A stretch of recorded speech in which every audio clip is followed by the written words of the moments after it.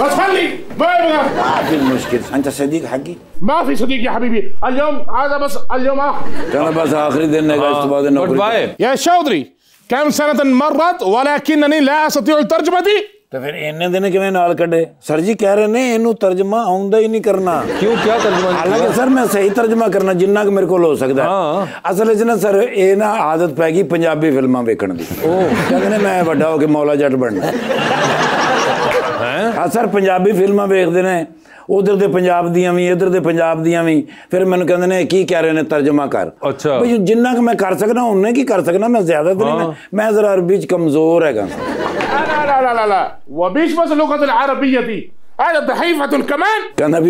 कमज़ोर हो जी बड़ा कमज़ोर है। थोड़ी पिछे टाइम रोटी खावा।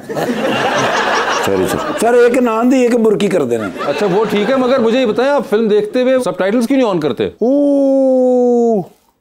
मुखबाफ या हबीबी। ਲਓ ਕਹਿੰਦੇ ਨੇ ਇਹ ਗੱਲ ਤੇ ਮੇਰੇ ਜ਼ਿਹਨ 'ਚ ਆਈ ਨਹੀਂ ਪਰ ਰਿਮੋਟ ਰਹਿੰਦੇ ਕੋਲ ਸੀ ਤੇ ਮੇਰੇ ਕੋਲ ਟੀਵੀ ਦਾ ਰਿਮੋਟ ਸੀ ਤੁਹਾਡਾ ਰਿਮੋਟ ਥੋੜੀ ਸੀ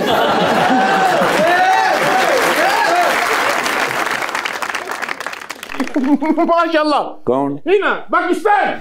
हाँ वो पाकिस्तान आई हुई है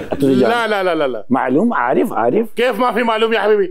ਅੱਛਾ ਜੀ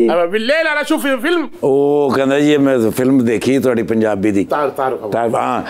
ਮੇਰਾ ਨਾਮ ਹੈ ਜੀ ਅਸਫਰ ਬਿਨ ਵੜੈਚ ਮੈਂ ਸਾਈਵਾਲ ਦਾ ਰਹਿਣ ਵਾਲਾ ਕਰਾਤਾ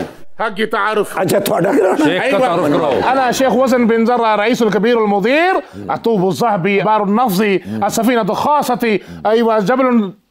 कौन से कल ਕਹਿ ਰਹੇ ਨੇ ਮੈਂ ਸ਼ੇਖ ਵਜ਼ਨ ਬਿਨ ਜ਼ਰਰਾ ਹੈਗਾ ਕਿਸੇ ਚੀਜ਼ ਦੀ ਕਮੀ ਨਹੀਂ ਅਲਹਮਦੁਲਿਲਾ ਆਪਣੇ ਊਂਠ ਹੈਗੇ ਨੇ ਆਪਣੇ ਕਾਰਖਾਨੇ ਹੈਗੇ ਨੇ ਆਪਣੀਆਂ ਗੱਡੀਆਂ ਹੈਗੀਆਂ ਨੇ ਸੋਨੇ ਦੇ ਇਹਨਾਂ ਦੇ ਕੋਲ ਪਹਾੜ ਨੇ ਸੋਨੇ ਦੀਆਂ ਇੱਟਾਂ ਘਰ 'ਚ ਪਈਆਂ ਹੁੰਦੀਆਂ ਇੱਕ ਦੂਜੇ ਨੂੰ ਸੋਨੇ ਦੀਆਂ ਇੱਟਾਂ ਮਾਰਦੇ ਨੇ।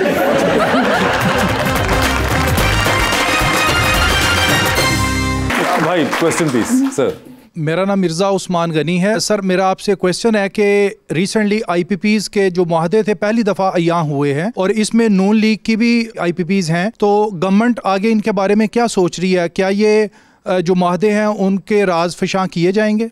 देखिए इन द लॉन्ग टर्म तो ये सब चीज़ें सेटल ही होनी है। और in the long term we need to come out of this IPP और इसने हमारे मुल्क को एक प्रॉब्लम में डाला हुआ ये जो एग्रीमेंट्स और कॉन्ट्रैक्ट्स हुए थे व्हेन व्हेन जब when this all was happening that was the time जब आपके पास कोई ऑप्शन और नहीं थी। So they did it because compulsion थी, मरता क्या ना करता। But now we are realizing and I think ये सब चीज़ें स्क्रैप होंगी इंशाल्लाह बाय द टाइम अब देखें सोलर पे सारी चीज़ें कन्वर्ट होती जा रही हैं। गवर्नमेंट की भी जो ग्रीन मीटर्स के बारे में एक दफ़ा बात हुई थी कि ग्रीन मीटर्स जो है उसके ऊपर भी टैक्सिंग टैक्सिंग का जो एक रजीम है वो भी इम्प्लीमेंट की जाए बट आहिस्ता आहिस्ता उसको भी बात को वापस ले लिया गया। तो आई थिंक स्लोली ग्रेजुअली इन ये चीज़ें सेटल डाउन होंगी और आई के साथ अब पाकिस्तान चल नहीं सकता।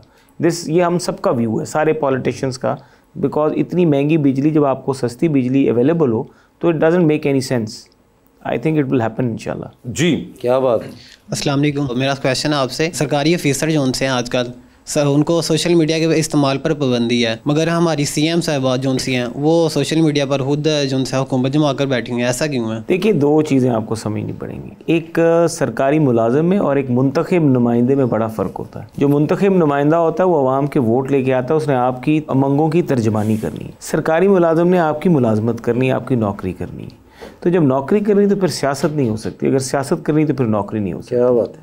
दोनों में से एक काम करें। जी अस्सलाम वालेकुम मेरा नाम नारा यूसुफ है मेरा क्वेश्चन मैम से है कि आपने पाकिस्तान और इंडिया के कल्चर में क्या डिफरेंस फील किया है ਮੈਂ ਜਦੋਂ ਬਾਰਡਰ ਕ੍ਰਾਸ ਕੀਤਾ ਹੈ, ਮੈਨੂੰ ਕੋਈ ਫਰਕ ਨਹੀਂ ਨਜ਼ਰ ਆਇਆ ਕਿ ਇਹ ਇਹ ਮੈਂ ਉਸ ਵਾਲੇ ਪੰਜਾਬ ਚ ਹਾਂ ਜਾਂ ਮੈਂ ਇਸ ਵਾਲੇ ਪੰਜਾਬ ਚ ਹਾਂ। ਉਹੀ ਖੇਤ ਦਿਖ ਰਹੇ ਸੀਗੇ ਉਹੀ ਘਰ ਦਿਖ ਰਹੇ ਸੀਗੇ ਉਸੇ ਤਰੀਕੇ ਦੇ ਨਾਲ ਬਸ ਹਾਂ ਇਹ ਜ਼ਰੂਰ ਹੈ ਕਿ ਇੱਥੇ ਥੋੜਾ ਪਿੰਡ ਦੇ ਵਿੱਚ ਜਦੋਂ ਤੁਸੀਂ ਚੱਲ ਜਾਓ ਅੱਜ ਵੀ ਉਹ ਵੈਲਿਊਜ਼ ਤੇ ਪ੍ਰਿੰਸੀਪਲਸ ਤੁਹਾਨੂੰ ਦੇਖਣ ਲਈ ਮਿਲਦੇ ਨੇ ਇਕੱਠਾ ਪਰਿਵਾਰ ਹੈ ਸਾਂਝਾ ਪਰਿਵਾਰ ਹੈ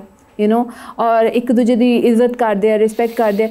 ਸਾਡੇ ਡਿਵੈਲਪਮੈਂਟ ਜ਼ਿਆਦਾ ਹੋਣ ਕਰਕੇ ਸਾਰੇ ਜਣੇ ਬਾਹਰ ਚਲੇ ਗਏ ਤੇ ਪਿੰਡਾਂ ਦੇ ਵਿੱਚ ਜ਼ਿਆਦਾਤਰ ਲੋਕੀ ਰਹਿ ਨਹੀਂ ਗਏ। ਸੋ ਇਸ ਕਰਕੇ ਉਹ ਪਿੱਛੇ ਰਹਿ ਗਿਆ।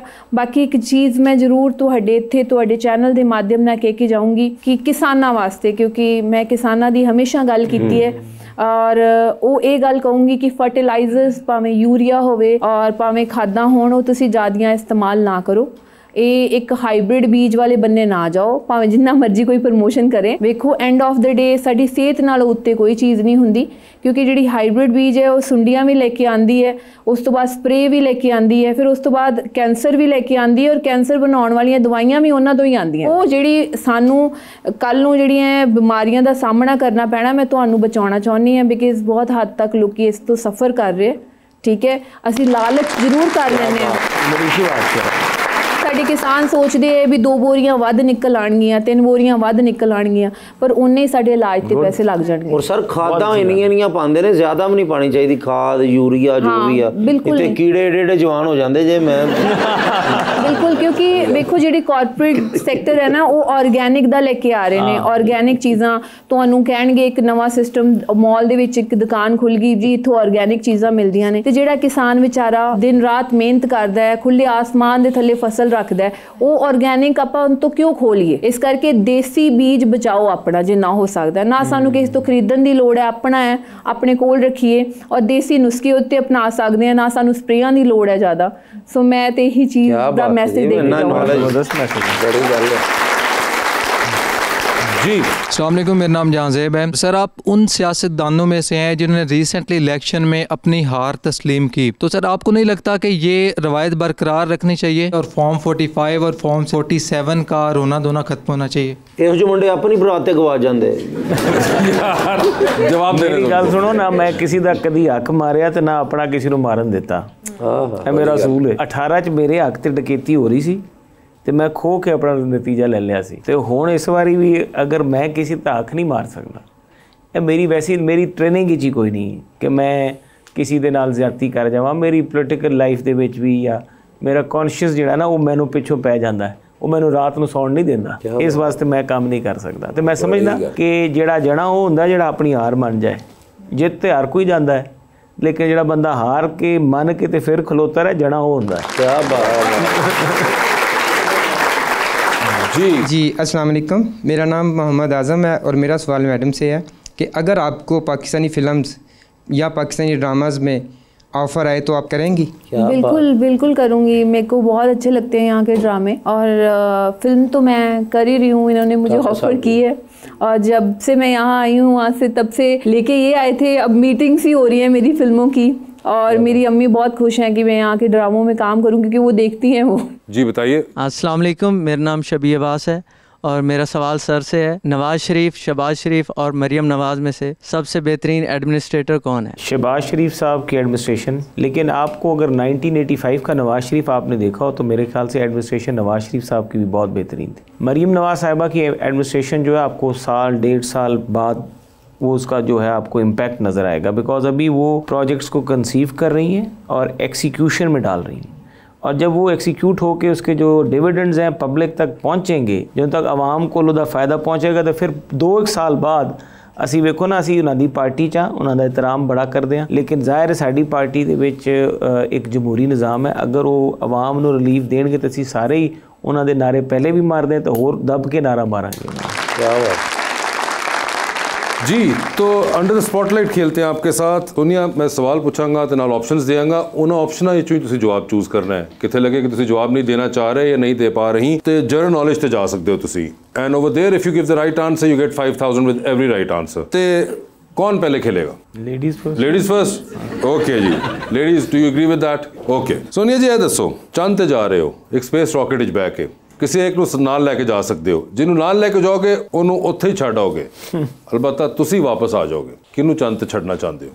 ਆਪਸ਼ਨਸ ਤੁਹਾਡੇ ਕੋਲ ਜਿਹੜੀ ਹੈਗੀਆਂ ਨੇ ਉਹ ਹੈਗੀਆਂ ਨੇ ਜਿਮੀ ਸ਼ੇਰ ਸ਼ੇਰਗਿੱਲ ਤੇ ਗਿੱਪੀ ਗਰੇਵਾਲ। ਗਿੱਪੀ ਗਰੇਵਾਲ। ਗਿੱਪੀ ਗਰੇਵਾਲ ਠੀਕ ਹੈ। ਇੱਕ ਲਿਫਟ ਦੇ ਅੰਦਰ ਐਂਟਰ ਹੋਏ ਤਿੰਨ ਲੋਕ ਮੌਜੂਦ। ਇੱਕ ਦੇ ਨਾਲ ਸੈਲਫੀ ਹੈ ਇੱਕ ਨੂੰ ਸਮਾਈਲ ਦਿਓਗੇ ਤੇ ਇੱਕ ਨੂੰ ਕਹੋਗੇ ਕਿ ਮੇਰੇ ਖਿਆਲ ਨਾਲ ਤੁਹਾਡਾ ਫਲੋਰ ਆ ਗਿਆ ਆਪਸ਼ਨਸ ਤੁਹਾਡੇ ਕੋਲ ਜਿਹੜੀਆਂ ਹੈਗੀਆਂ ਨੇ ਉਹ ਹਨ ਸਲਮਾਨ ਖਾਨ ਸ਼ਾਹਰੁਖ ਖਾਨ ਤੇ ਆਮਿਰ ਖਾਨ।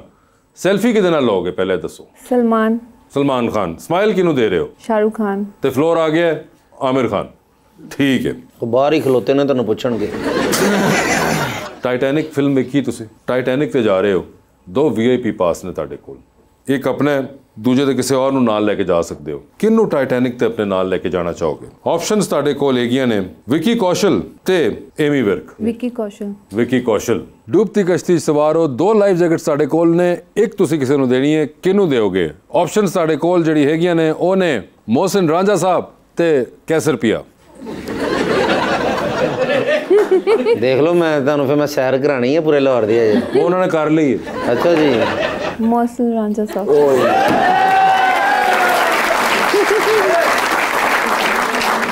ਤੁਸੀਂ ਤੇ ਇੰਜ ਸ਼ੁਕਰੀਆ ਕਰੇ ਵਰਲਡ ਕੱਪ ਮਿਲ ਗਿਆ ਤੁਹਾਨੂੰ?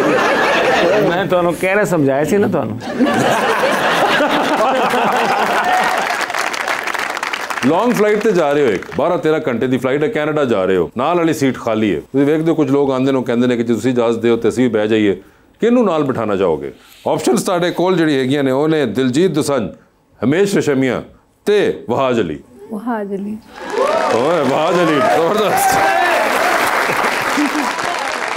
मोहसिन भाई आपकी बारी है। सर आपकी ज़िंदगी में फ़िल्म बन रही है। क्या चाहेंगे कौन सा एक्टर उसमें आपका कैरेक्टर करे? ऑप्शंस आपके पास जो हैं वो हैं नुमान एजाज और शान। शान ही बेहतर रहेगा। शान बेहतर रहेंगे ठीक है। सर ये बता दीजिए चाँद पे आप भी जा रहे हैं किसी को साथ लेके जा सकते हैं जिसको लेके जाएँगे उनको वहीं छोड़ाएँगे although you will come back किसको चाँद पे छोड़ देना चाहते हैं? ऑप्शंस आपके पास जो हैं वो हैं ख्वाजा सलमान रफीक और मुश्तबा शुजा रहमान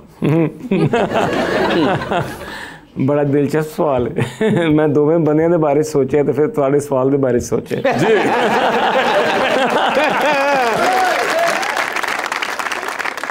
ਦੋਵੇਂ ਭਾਈ ਨੇ ਛੱਡ ਕੇ ਕਿਸੇ ਨੂੰ ਆਇਆ ਤੇ ਦੋਵੇਂ ਨਾਰਾਜ਼ ਹੋਣਗੇ एक को लेके जाना देखिए आपके पास ऑप्शन ही सिर्फ एक ही है मैं आप जानते रह जाऊंगा ਉਹਨਾਂ ਤੁਸੀਂ चले आपको अपने वापस लाना है देखिए अपनी भाभी से वादा आप एक को बताएं किसको मेरा ख्याल है फिर अगर वापस भेजना है तो सेहत के शोबे के हवाले से मैं ख्वाजा सलमान रफीक साहब सलमान यहाँ रफीक को भेज पे देंगे। मुश्तबा शुजा रहमान चांद वो पे फिर मैशत वहाँ पे बैठ के देख ठीक है वहां पे बैठ के देखेंगे सर लिफ्ट के अंदर एंटर हुए हैं आप तीन लोग मौजूद हैं एक के साथ सेल्फी है एक को स्माइल है और एक को आपने कहना है मेरे ख्याल से आपका फ्लोर आ चुका हुआ है ऑप्शंस आपके पास जो हैं वो हैं। ख्वाजा साद रफीक साहब सरदार अवैस खान लगारी और शाहिद खाकान अब्बासी सेल्फी किसके साथ है? सेल्फी जो है वो साद रफीक के साथ। ठीक है स्माइल किन को दे रहे हैं? स्माइल देंगे फिर खाकान अब्बासी साहब को। ठीक है और फ्लोर आ चुका हुआ है अवैस खान लगारी साहब का। ठीक है। सर ये बताइए लॉन्ग फ़्लाइट पे आप भी किसी को साथ बिठा सकते हैं? बारह तेरह घंटे का सफ़र है किसको साथ बिठाना चाहेंगे आप? ऑप्शंस आपके पास जो हैं वो हैं महविश हयात और माहिरा खान।